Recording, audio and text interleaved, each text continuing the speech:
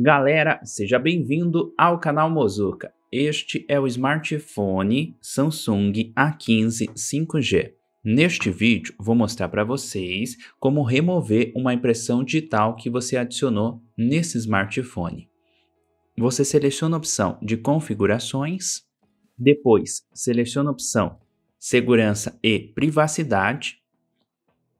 Aqui você seleciona a opção biometria, depois seleciona a opção impressões digitais. Ele vai pedir a senha do seu smartphone, eu vou colocar a senha, e aqui você escolhe a impressão digital que você quer remover. Eu vou remover esta impressão digital, você seleciona essa impressão digital e depois seleciona a opção remover. Ele pergunta se você quer remover essa impressão digital, aí você seleciona a opção remover. Tome cuidado para não remover a impressão digital errada e pode ver que agora eu removi essa impressão digital neste modelo. Espero que esse vídeo tenha te ajudado. Não esqueça do seu like.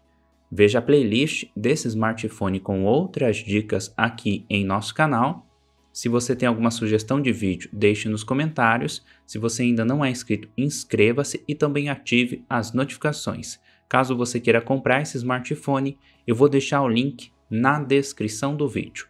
É esta dica rápida que eu queria mostrar para vocês neste vídeo.